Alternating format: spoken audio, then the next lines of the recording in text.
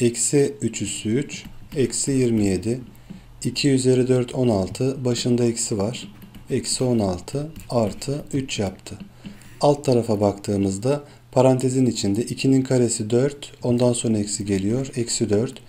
Eksi 2'nin küpü eksi 8. Başında eksi var. Artı 8 olacak.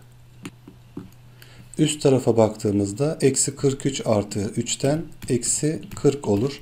Alt tarafta 4'tür. Sadeleştirdiğimizde eksi 10 olur. Doğru cevap A'dır.